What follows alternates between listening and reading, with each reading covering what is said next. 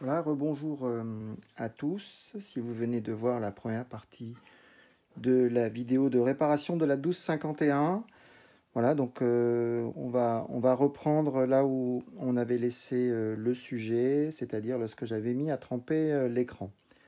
Donc, bref, inventaire de ce que l'on a. Donc, j'ai remis donc les, les, les, boutons à leur place. Je ne le fais pas là la vidéo parce qu'il faut, retourner, il faut regarder par en dessous, c'est pas très visuel. Donc euh, euh, avant de, m'occuper du, PCB, je vais nettoyer un petit peu euh, les, différents composants. Donc j'ai un petit peu d'alcool, voilà, et puis je vais délicatement humecter chacune des parties. Voilà, donc ça c'était pas trop sale. Donc ça, ça va. Surtout bien séché pour pas qu'il y ait d'alcool qui aille euh, évidemment dans le, au niveau de l'écran. Voilà, ça risquerait de faire des gouttes. Voilà. Euh, cette partie-là, je vais, je vais la nettoyer un peu. J'ai vu qu'il y avait un petit, euh, petite trace noire. Donc avec un coton-tige que je trempe dans l'alcool. je nettoie un petit peu pour faire disparaître cette trace. c'est très noir effectivement. Je sais pas ce que c'est. Est-ce que c'est ça un rapport avec l'huile noire Je ne sais pas.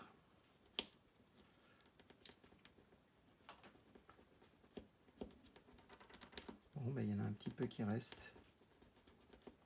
Bon, c'est pas très grave, c'est hors, euh, hors hors visuel de la calculatrice. Alors, un petit peu d'alcool sur mon chiffon, enfin sur mon, sur mon petit euh, mouchoir en papier fin, voilà. Et je nettoie l'écran et je le sèche. Voilà, donc euh, je vais le remettre en place. Donc il y a une partie large. De toute façon, vous ne pouvez pas vous tromper. Il y a une partie large, une partie fine. Mais si vous le mettez dans le mauvais sens, euh, ça, ne, ça ne rentre pas. Donc euh, voilà. C'est la partie large au-dessus.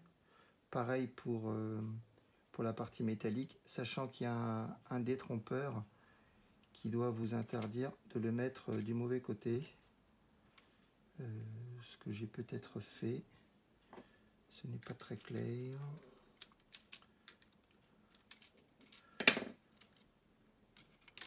Le tourner.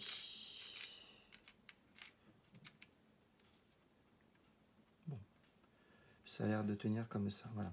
Et puis enfin, je remets la, la membrane. Voilà. Pour tout à l'heure, voilà pour ça.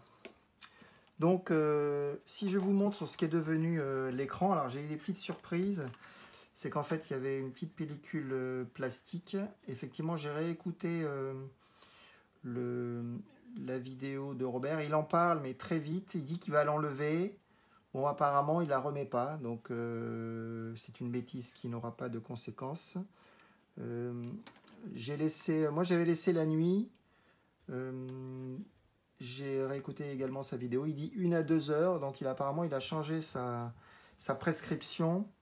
Du coup, l'acétone s'est évaporé. Alors, Toujours utiliser alors soit du métal, soit un plastique plutôt épais, hein, parce que l'acétone n'aime pas trop le plastique. Bon, écoutez, euh, l'objectif je crois va être atteint et je vais enlever euh, l'écran voilà, qui, reste quand même un peu collé malgré la, nuit euh, de bain. je ne sais pas trop pourquoi, mais bon, je pense que ça va, ça va être bon. L'objectif c'est de ne pas tordre, il faut y aller doucement parce qu'il ne faut pas tordre la partie métallique. En fait, tout ça, c'est pour ça. Voilà. Donc ça, c'est l'écran euh, usagé dont on n'aura plus besoin. Et donc, je récupère ainsi la partie... Euh, je n'ai plus besoin de ça. Euh, l'écran métallique, il va falloir nettoyer avec, voilà, avec peut-être un petit tournevis pour enlever le surplus de colle qui reste. Alors, plus vous laissez normalement dans l'acétone, moins il reste de, colle comme ça à enlever.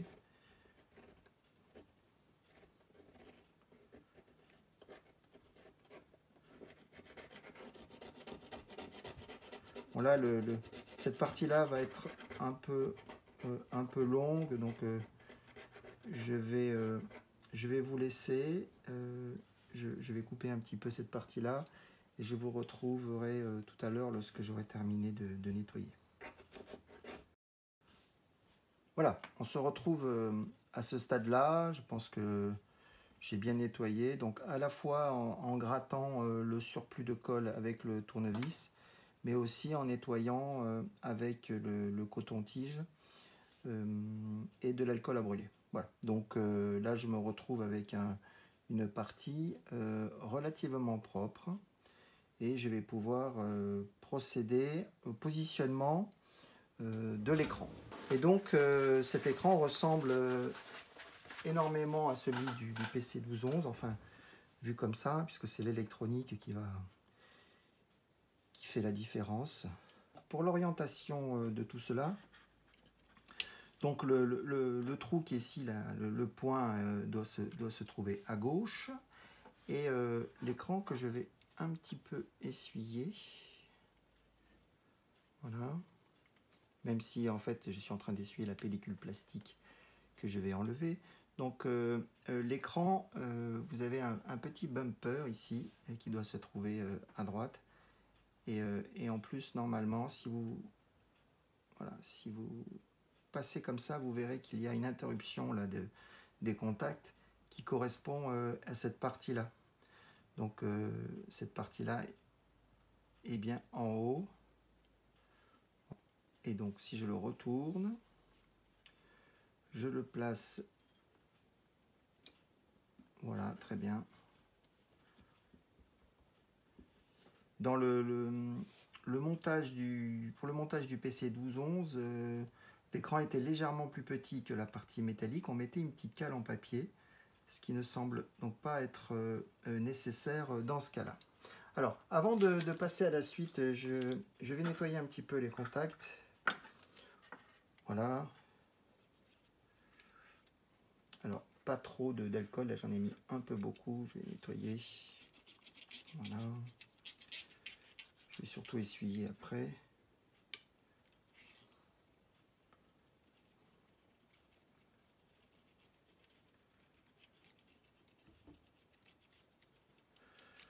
Y compris cette partie-là.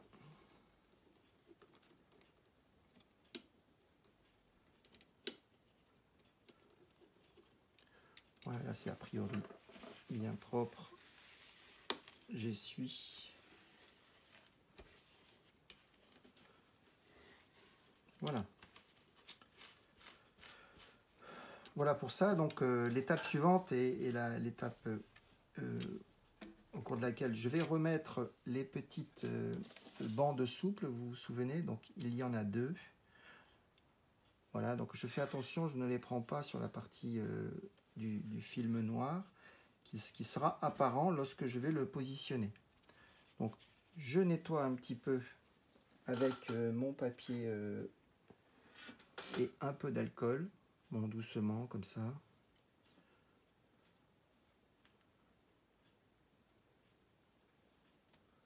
Voilà. Et je le positionne dans la rainure, partie euh, noire vers le haut. Hein. Je termine le positionnement avec euh, mon tournevis, mais bon, il rentre voilà, ne vous inquiétez pas si ça, si ça fait des, vagues là. De toute façon, euh, le, contact est, est, plutôt euh, large au niveau du, PCB, donc euh, voilà, ce n'est pas le problème. Mais il faut surtout pas que ça dépasse. Voilà pour le premier. Je vais mettre le second. Toujours pareil, un petit peu d'alcool à brûler sur cette partie-là.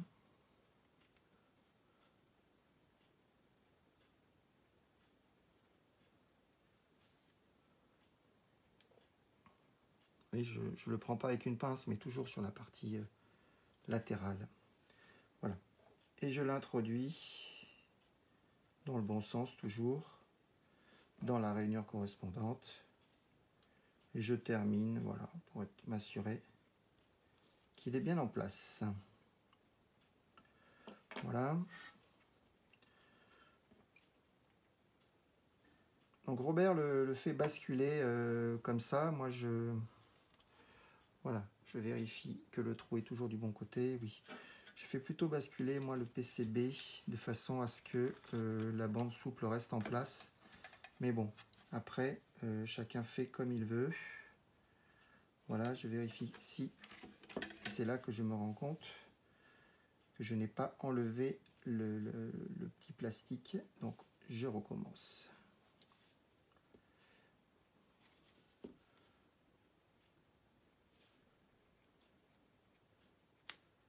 Voilà. Il est toujours à temps d'enlever le plastique. Je remets tout en place. Bon, voilà, c'est du direct. Il vaut mieux s'en rendre compte maintenant que tout à l'heure. Il y a une petite bête saleté.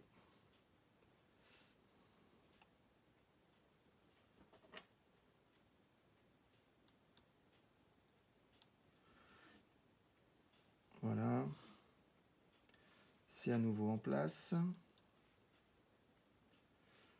J'enlève.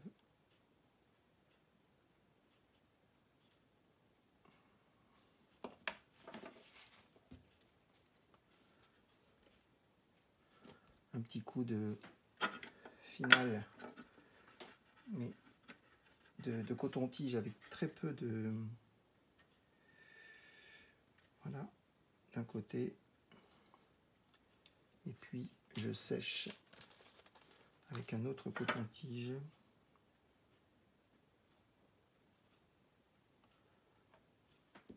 Voilà. Je remets bien en place.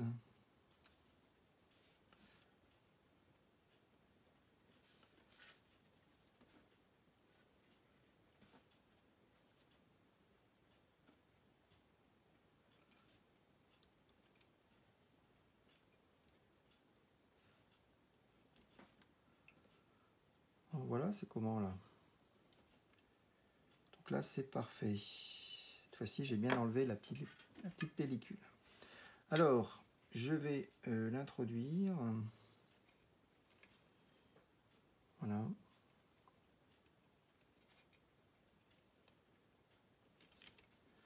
Normalement, ça devrait rentrer assez bien, voilà, assez facilement. Et je préfère le mettre dans ce sens-là, moi. Et puis délicatement toujours.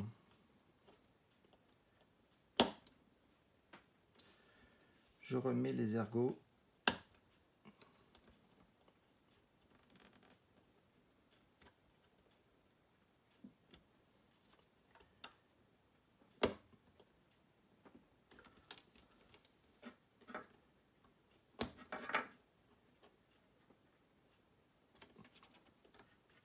C'est toujours la partie la plus délicate.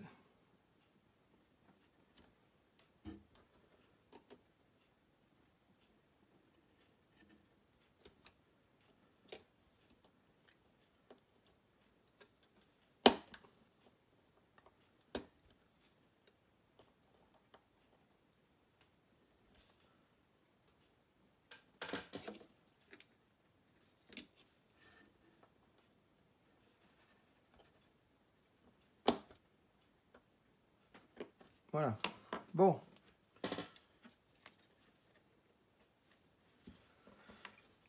C'est en place. Je vais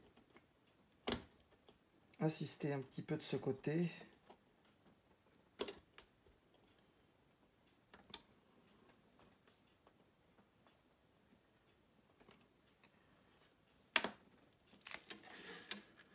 Voilà.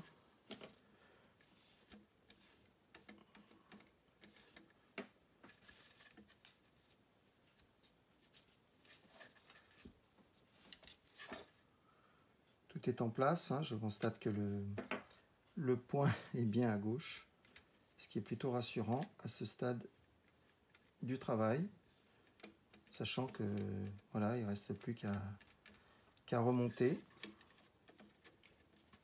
remonter tout ça. Donc je vais euh,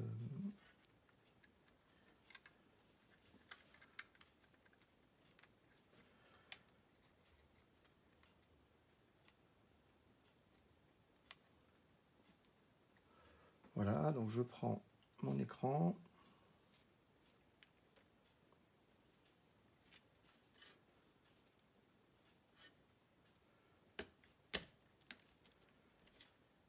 Je positionne tout ça.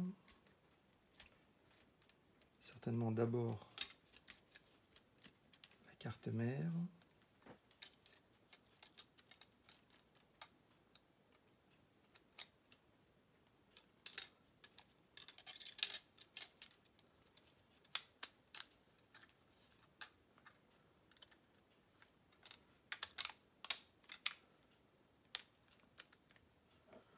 Vérification sur les touches.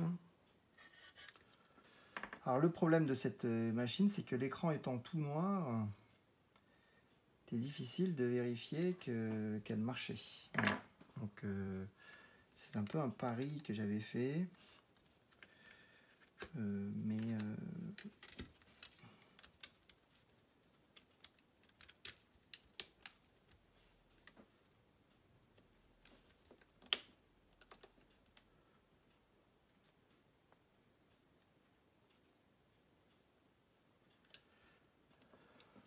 Voilà, je n'avais pas de garantie que la machine fonctionnait. Alors, on remet tout ça. On va le faire dans l'ordre. Hein. Ça sert à rien de vouloir aller trop vite. Voilà, là il tient bien a priori.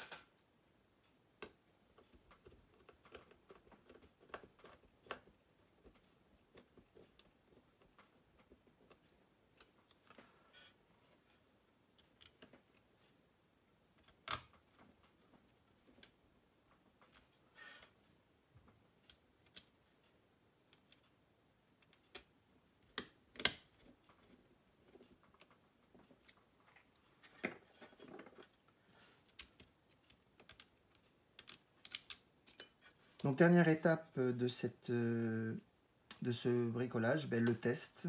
Euh, je mets les piles. Alors il n'y a pas de marque de savoir dans quel sens on les met, mais je, voilà. Je vais tenter comme ça. Voilà, je remets, parce que je suis très optimiste, la, la petite coque avec les deux vis. Voilà, comme ça, ce sera terminé.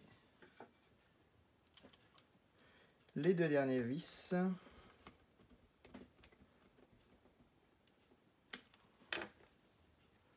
Et voici le, pocket. Alors euh, finalement l'écran est, beaucoup plus euh, agréable et on peut constater que la machine marche très très bien quel que soit le mode. Voilà. Et donc, euh, je, voilà, je, je, suis ravi d'avoir pu faire cette vidéo pour vous. Je me permets euh, de vous rappeler, euh, compte tenu de la situation, le seul conseil que nous devons suivre, par exemple, en réparant des Pocket Sharp avec ces, écrans de Robert. Voilà, merci à Robert, merci à vous de, votre attention et euh, ben, à bientôt sur, ma chaîne pour euh, de nouvelles aventures.